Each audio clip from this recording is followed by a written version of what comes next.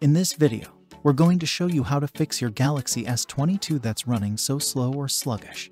Sluggish smartphones might have some issues with its firmware, although it's also possible that it's caused by some apps that also have problems loading up. But most of the time, performance issues are pretty minor and you might only need to do a few procedures to fix them. And the first solution you need to do is to close all apps that are left running in the background. It is because those apps might already be taking up too much resources that there's a little left for other services to use. To close the apps, tap the Recent Apps key. Once the app previews are shown, tap Close All to dismiss everything. After doing that, try to see if your phone's performance has improved. Now the second thing you have to do if the first solution fails is to force restart your phone. Such a procedure will refresh the memory of your device and reload all the apps and services. If the performance problem you're experiencing is just due to a minor system issue, then this should be enough to fix it. To force restart your phone, press and hold the volume down button and the power key for 8 seconds. This will trigger your phone to shut down and power back up. When the logo shows, release both keys and allow the phone to boot up. After your phone has successfully booted up, try to see if the problem is fixed. If this doesn't fix the problem, then your phone might be running low on storage.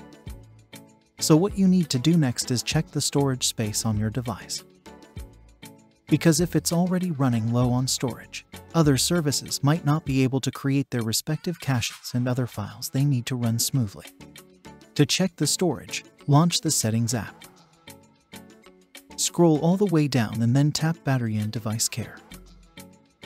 On the next screen, you should already see if it's a storage problem or not. If your phone only has 4 gigabytes of storage left or less, then delete some of your files or data, or uninstall the apps you don't use. Doing so will fix the problem. However, if your phone still has enough storage and the problem continues, then move on to the next solution. The next thing you need to do if the first three solutions fail is to reset the settings of your device. Doing so will bring the settings back to their default values and the good thing about this procedure is that none of your files will be deleted. This is how it's done. Pull down the notification panel and tap the gear icon. Scroll all the way down and tap General Management. Tap Reset and then tap Reset All Settings. Tap the Reset Settings button and enter your security lock if prompted. Now tap Reset to reset the settings of your phone.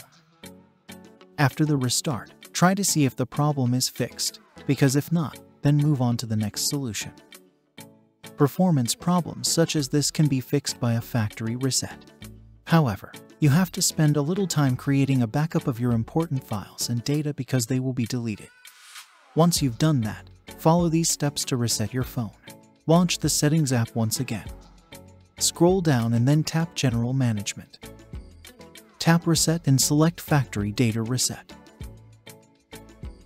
Scroll down and tap Reset.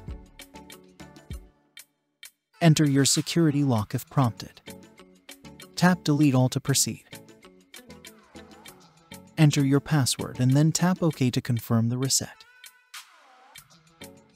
It will take just a few moments before the reset is finished. After that, you will be asked to set up your phone again. After the setup, it should work smoothly without any problem. We hope that this troubleshooting guide can help you. Please subscribe to our channel for more videos like this. Thanks for watching.